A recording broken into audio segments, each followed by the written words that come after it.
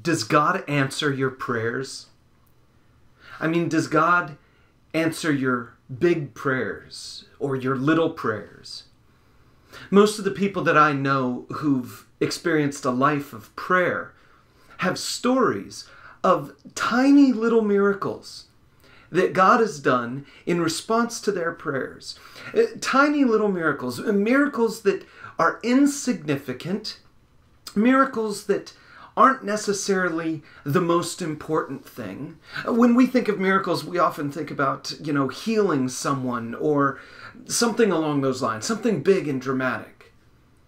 But truthfully, the tiny little miracles can strengthen our faith just as much as any of the big ones could, and sometimes even more. Today we get to hear the story of Natalie Guthrie telling us a couple miracle stories in her own life. Just times when she remembered to bring something to God and He came through. I hope this is an encouragement to you.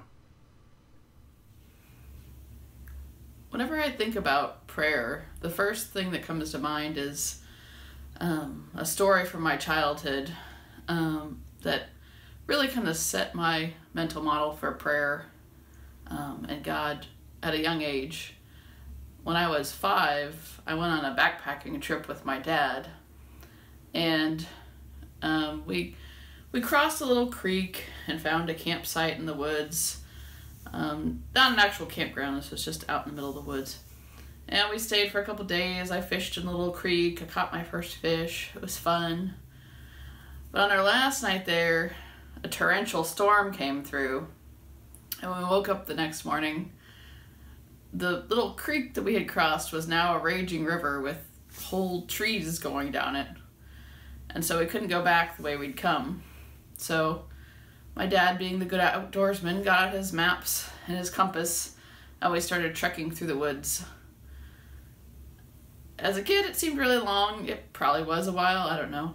Um, but we hiked for a long time, and eventually my dad sat me down on a log and he said that we were lost and that we should pray and ask God to help us find our way out.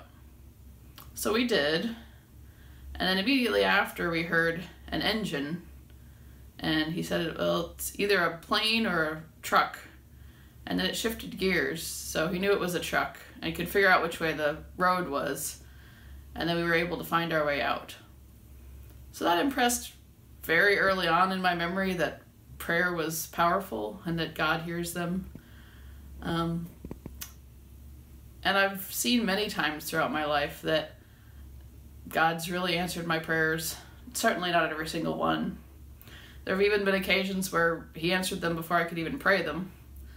Um, after Hurricane Katrina, Corey and I were down in Biloxi uh, helping clean up, and uh, in the mornings they would give us like some papers uh, with like a map and a description of what needed to be done. And so we got one that said the homeowner needed help with like a tree limb that was gonna fall in their house or something. So we were envisioning something low. And we got there and it was a really tall tree with a, a partially broken branch off. And we definitely did not have the equipment to get up there we hadn't even figured out what to do. We were all just kind of standing there with our hands on our hips looking up at it. And some guy in a truck pulls up and goes, Y'all need help with that limb? And gets out of his truck in tree climbing gear, climbs up the tree, cuts the limb off, climbs back down, and drives away before any of us even really have a chance to say anything. Which was pretty cool. I wish I could say I always remember to take things to God. I I there are times when I realize that I'm stressed out about something and I haven't done that. I forget way off more often than I should. But overall throughout the years he's I always feel comfort in knowing that my prayers are heard and that I have confidence that he'll pick what's his will and best for the situation. Oh, I'm glad that God sometimes brings us the big miracles and the small miracles. And and you know what? Whether God answers our prayer in the way we expect or answers our prayer in a way we don't expect, the promises of Scripture are still the same. God hears when we pray. He loves us as we pray. And He does what's best in response to our prayers.